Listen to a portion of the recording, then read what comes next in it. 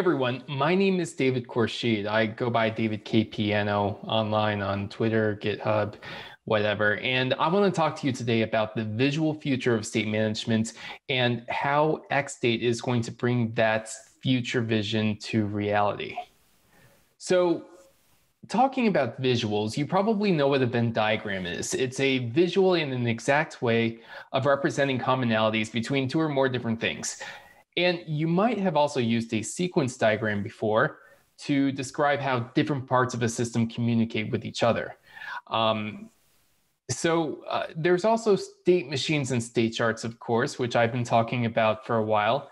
Uh, and state machines and state charts fall under this this visually exact diagram category because diagrams like these are really useful in conveying relationships in a visually unambiguous way and they each have their own special notations for denoting specific things. And so with state charts we have the same type of thing. We have uh, arrows and boxes uh, just describing how states and logic can flow over time. Uh, David Harel who is the inventor of state charts, calls this a visual formalism. And so he describes that visual formalisms are diagrammatic and intuitive, yet mathematically rigorous languages. Uh, thus, despite their clear visual appearance, they come complete with a syntax that determines what's allowed and the semantics that uh, determine what the allowed things uh, can be. And so I, I, recommend reading his paper on visual formalisms for uh, more information on this really, really interesting idea of basically these diagrams that are mathematically rigorous and also executable. So the way that we typically code application logic, whether it's in React or anything else, doesn't really lend itself to a visual formalism or, or to anything really. Um, we tend to collocate data and logic close to the source where it's used, such as in event handlers or uh, sometimes in custom React hooks if we want a little bit more organization. So while this may be convenient to code, uh, the problem is that the logic is hard to understand, especially as it changes over time due to events or anything that can happen within the app. And the problem is you can't discern what can happen or how an application can respond uh, to any event or signal uh, at any point in time. And so that connection logic resides in the head of the developer uh, who added the logic, which isn't really useful. And so you end up with things such as ad hoc logic as well, um, you know, which obviously should be dried up. Um, but the problem is that when you add that uh, ad hoc logic, um, the the logic uh, when you dry it up you might put it in a function or something and that function may end up you know itself being ad hoc logic just living somewhere else. So you're still not centralizing uh, everything which you know definitely becomes a bit of a problem. And so enter the reducer uh, popularized by flux and state management libraries like um, like redux reducers provide a way to contain this logic in a centralized convenient location so one hugely important beneficial constraint of reducers is that it forces to uh, forces you to interact with the logic um, by sending events or actions, as they're called in React and Redux Land. By the way, the naming of actions was sort of a mistake, uh, at least in my opinion. So we're going to be using the term events in this presentation. But here's why dispatching events is actually a really good thing. It forces you to reify what can happen at your app in any given point in time. So the user may click a button, a fetch may resolve or reject, a timer might go off, all of those are events. And thinking about your app in terms of state and events really simplifies the mental model, at least in my opinion. However, this isn't easily visualized either. Uh, reducers typically contain switch statements or if statements to discern what should happen when an event is received. Thus, distinguishing how the behavior of your app can change becomes a lot more difficult. It mixes those switch statements and those if statements. And so you have to piece together the logic by navigating through a bunch of these statements and defensive logic to uh, just to discern what the behavior of your app can be at any given point in time. It's all in a single function, um, and it's hard to you know pull that apart. So state machines are like reducers, and they can even be written as reducers. But instead of mixing all the logic together, it cleanly separates behaviors into what are known as finite states. A finite state represents a behavior, which is what the current state is of some actor and how it can respond to events. So it might respond to an event by performing an action or by changing its behavior or um, or anything like that. And that's represented by these transition arrows that go from state to state. Um, or an event might not be handled, in which the case is that, uh, in, which case the default behavior is to ignore that event. In reducers, this often requires a lot of defensive code, but uh, with state machines, it's built right into the mathematical model. And more practically, this kind of separation prevents impossible states, which guarantee that two behaviors can't occur at the same time, and impossible transitions, since all transitions need to be explicit and uh, you know you, you can't have any implicit transitions. State charts take this idea of a visual uh, visual formalism one step further uh, by introducing hierarchy. Although state machines provide a way to cleanly organize logic, they suffer from combinatorial explosion of states and transitions, especially when different finite states are actually related. By extending the notion of state machines to be a hierarchical graph, or a higraph as David Harel calls it, we can group states together and represent common transitions cleanly. We can also isolate logic uh, so that we can see the bigger picture instead of having to understand all of the little implementation details in one big flat structure. Like state machines, state charts are also mathematically rigorous, uh, but they can express a lot more complex logic than a state machine can. And it solves the problem of uh, combinatorial explosion uh, within, within state machines because it allows you to group related behaviors together. So that's a state chart. And so this is why I created XState a few years ago. I wanted developers to be able to represent state machines and state charts in a way that can be coded cleanly and can also be automatically visualized, uh, which is why it has this JSON-like object notation.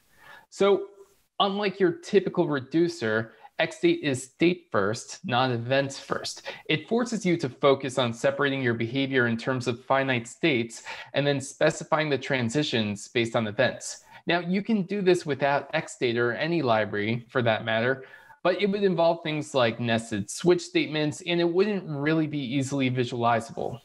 And so, um, like I mentioned earlier, a machine can be represented as a reducer, and that's what this machine.transition function is. You provided the current state and the events that just happened, and um, you, you get the next state.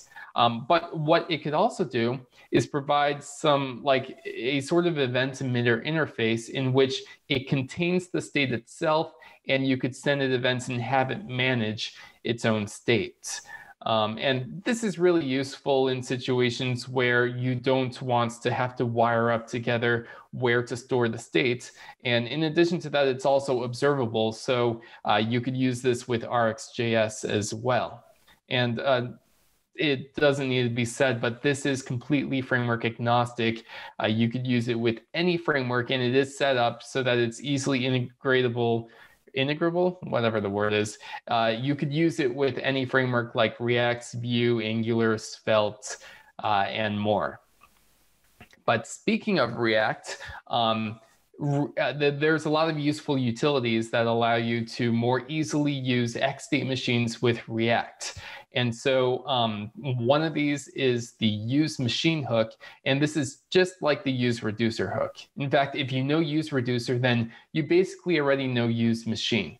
So instead of passing a reducer, you would pass a machine that you created, and you get the same two expected um, values from the tuple the state, which represents the current state of the machine, and send, which represents a way for you to send events uh, to that running machine.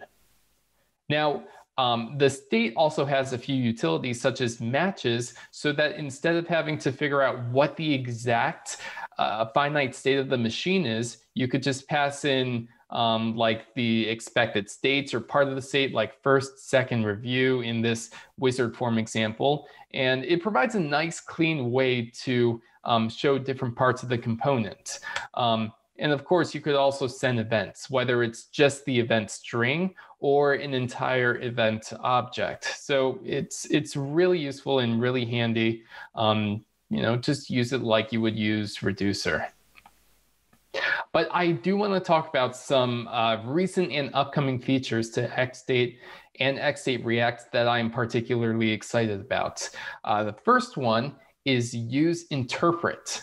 So use interpret, uh, the goal of this is to interpret a machine, create a service, and it just returns that service.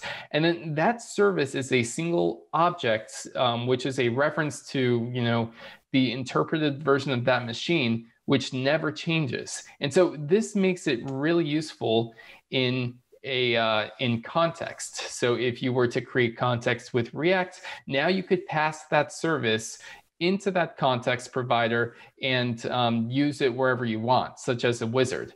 Now, the great thing about this is that since the service doesn't change, it's not going to cause a lot of re-renders. In fact, it, it only updates once, which is when the service is created. So you're guaranteed to never have any extraneous renders. And so the way that you would use this is by um, a combination of two hooks, use service and use context. So um, you grab the service from the context, which is that uh, service context, and then using the use service hook, you, you could use it just like a machine. Instead of uh, passing a machine in, you pass the service in, and you get the two uh, same expected values from the tuple, the current state, and the way to send to that service. And then you could use it as normal. And so this gives you the ability to have both local and global states, and even semi-local state where you need uh, you need some states shared between a bunch of components, but not with every component. And um, however, even this sometimes, even though it does um, prevent like massive re-rendering due to everything changes, uh, it could also lead to too many renders too if one of your components doesn't actually care about a certain part of the state. And so that's why there's a new hook called use selector. Um, use selector takes that service or any actor really, and we'll talk about that in a minute. Um, and uh, you could pass in a selector which takes in that emitted states value and uh, it returns only the states that you care about. So in this case, we only care about the data for the form. So we call useSelector with service and the selector, and we get the data in return. Now you could still call service.send to send events to the service. Nothing stopping you from doing that. Um, the purpose of useSelector is to limit the number of re-renders um, by doing a shallow comparison uh, on this selector.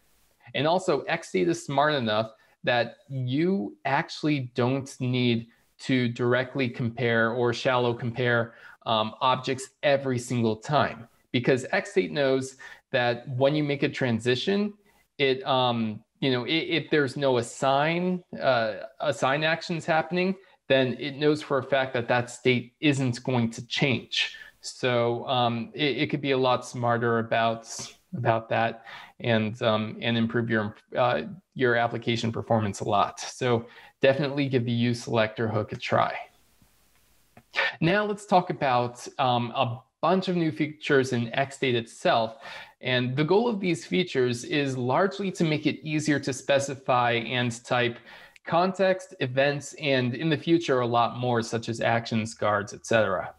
Um, one of these utilities is the create model function. And so create model just provides a nice way of containing your, um, your context.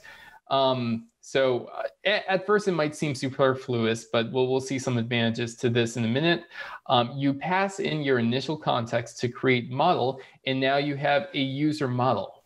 This model represents the extended state or the context of your machine. So the machine defines the finite states. The model uh, can help you define extended states again, also known as context. And so one of the benefits of using this model is that there are some utility functions such as assign. So instead of pulling assign from xstate as a separate action, now you could just call, uh, in this case, user model dot assign, and um, everything is type safe and um, you know, it, it, makes it a lot easier to assign values that way.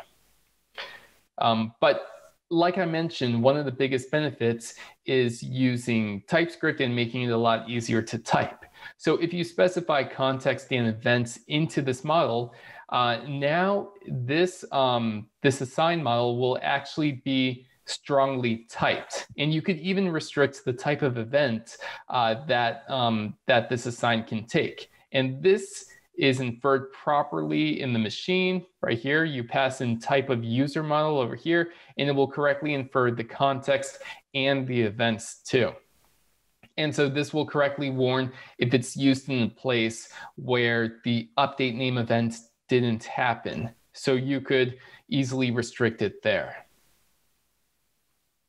So um, you know, that might be a little bit verbose, which is why one of the um, more recent changes are these event creator functions. And they allow you to specify the event's type and a neat little factory function for, uh, for providing the event's payload.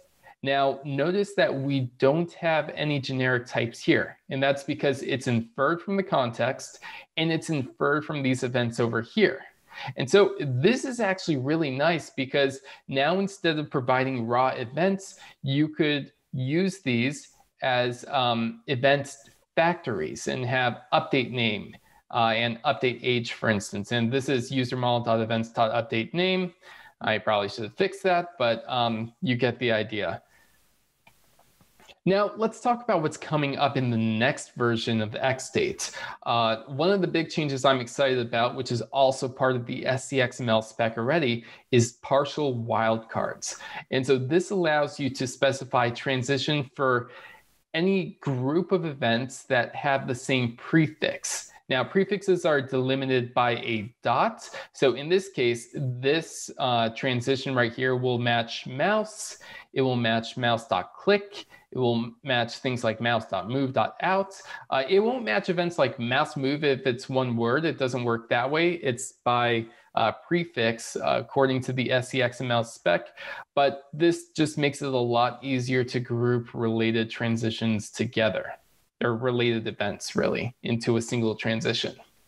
Um, another change I'm excited about is higher level guards. Um, before you had to specify guards like if you had um, some condition, uh, if you wanted that condition to um, you know just be the inverse where it's false instead of true, you had to specify a new condition. And now with higher level guards, you could just you know use uh, these um, guard creators such as and or or not and compose them together uh, in many different ways. Um, there's two benefits to this. First of all, I know what you're thinking. Why not just write this in code with you know if statements and uh, operators like that? And um, because we're uh, you know XState provides you the ability to serialize guards, uh, it works automatically with those serialized guards within the machine so that you don't have to reference the guard directly. Um, you know, the guard can and should be an implementation detail, and XState allows you to leave it just like that. Also, um, this allows you to uh, fully visualize these guards in a future version of the visualizer, uh, which will actually show it basically as a flowchart or a decision tree. Um, and so that's a really nice benefit of having it specified uh, this way.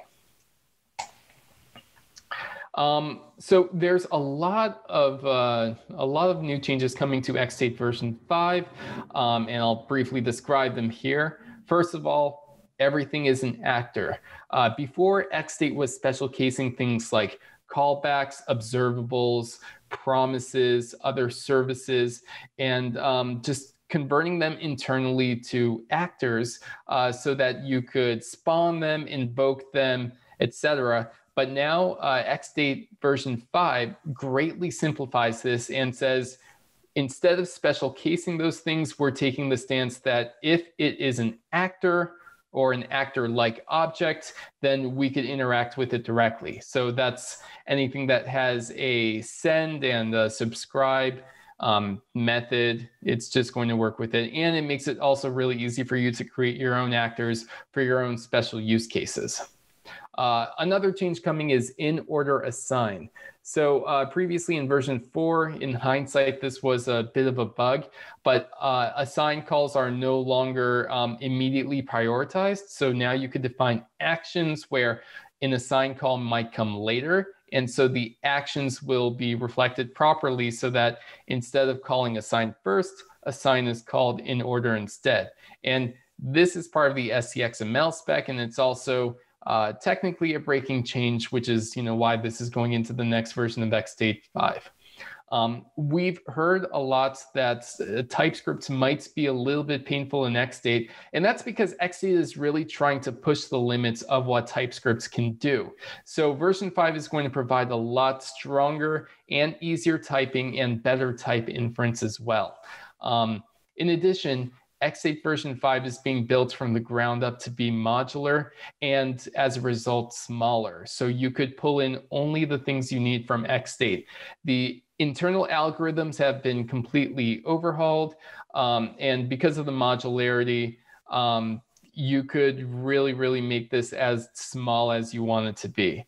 And there's many more improvements coming to XState version 5.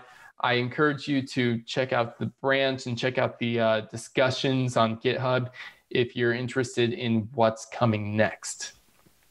And uh, by the time that this conference uh, talk is aired, uh, hopefully there will be an XState Alpha that you could play with. Now, XState has a lot of these benefits of having a visual formalism um, first of all, obviously being visualization, but also being able to automatically generate tests, automatically um, in, uh, take in analytics, uh, and be able to capture um, all of the transitions and you know things that can happen and store that somewhere uh, so that you could do analysis on that later. And also auto generation of you know things such as testing and type generation and documentation generation uh, and a lot more than that um, and so this is why XState doesn't fall into the normal category of state management tools. It's more state orchestration, and it does it in a declarative way to enable all of these things. Um, and so that's why I say that uh, you know we have a visual future uh, for XState because it's a lot more than just being another state management library. Um, one of the recent examples of this is XState Catalog um, which uh, this is actually a really, really great project um, and uh, by Matt Pocock. And uh, it allows you to um, just to have these catalog of machines and be able to interact with it directly and visualize it at the same time. And this is the XState Inspector, which um, I highly recommend you check out too, because it brings new capabilities to visualizing your state uh, and going both ways as well. So you can interact with the inspector and have the state change and the other way around. So it's, um, it's like Redux Dev Tools, but a lot more powerful. Um, so when talking about, you know, just this visual aspect of code, uh, the, the fact of the matter is that today a lot of the code we have is very much stuck in code land where we have code only.